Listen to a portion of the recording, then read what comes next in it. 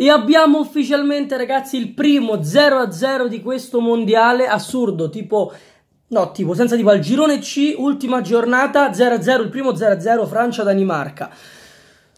Allora, posso dire che era prevedibilissimo, perché sono due squadre che non segnano manco con le mani.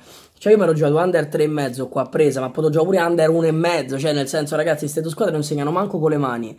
La Francia ha segnato sempre, magari su un tiro da fuori, un, un tocco del campione, io ve l'ho detto la prima giornata, ho detto la Francia più non vincerà niente, poi c'è sta che vince tutto perché se hai campioni e te la decidono, le vinci tutti 1-0, vinci il mondiale, c'è poco da fare.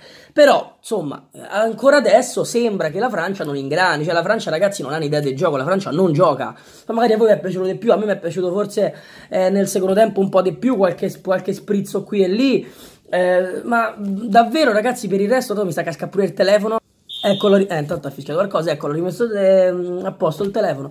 Stavo dicendo, più che altro quando è entrato Fekir, magari ho visto qualcosina, un po' de, de, de, de sprizzi e de sprazzi che correva sulla fascia, due volte è andato vicino al gol. Però, ragazzi, secondo me la Francia è veramente poca cosa. Poi ovviamente passano primi. Se, se è passata la Spagna prima, possono passare veramente tutti i primi, ragazzi, veramente tutti.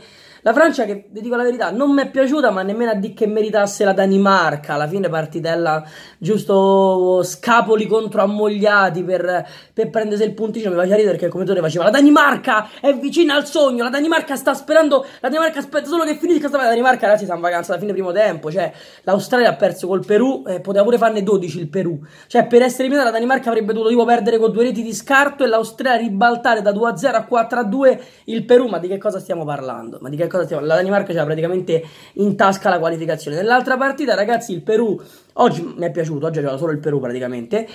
Però però Perù, però, boh, non lo so, mh, sta svegliando un po'. T- so, allora, sta, la cosa che mi piace tanto dei mondiali è che il Perù, fra l'altro adesso stanno esultando, sono tutti felici e contenti, mi piace un sacco come immagine, ma al di là di questo, il Perù che sa già che è fuori, che vince nonostante sia eliminata e che esulta, si abbracciano, piangono in campo perché hanno fatto tre punti al mondiale. È bello, non siamo tutti la Francia, la Spagna, la Germania, l'Inghilterra, metto anche l'Italia perché abbiamo quattro mondiali. Non siamo tutti squadre grandi, ci sono anche queste piccole emozioni, sono tutti i tifosi del Perù che cantano e sinceramente sono molto molto contento anche di vedere questo. Detto questo, guardate, io vi dico, quasi quasi alla Francia è andata bene. Perché? Perché passa prima e probabilmente potrebbe beccare l'Argentina che sta più a pezzi di loro. Cioè, la Francia non, non, non ha un'identità di gioco. L'Argentina non ha punto. Cioè, l'Argentina non è, non è, niente, non è nulla. Quindi, magari quest'anno con l'Argentina che sta un pochino rincoglionita potrebbe passare.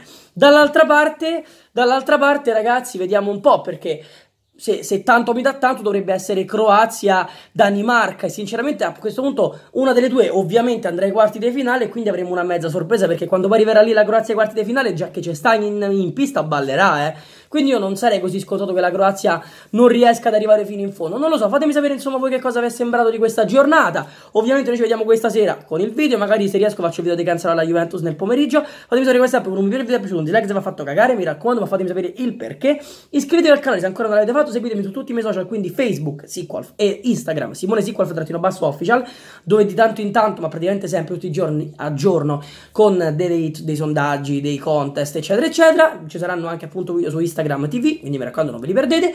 Ti ringrazio come sempre per la visione, iscriviti o oh, iscriviti in questo momento. Buon scialala, ci vediamo sempre ad un prossimo video.